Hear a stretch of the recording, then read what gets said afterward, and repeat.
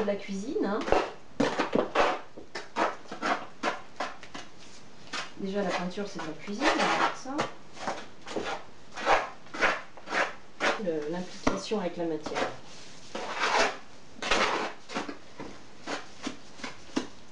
Si, si tout était euh, super euh, sans matière, sans.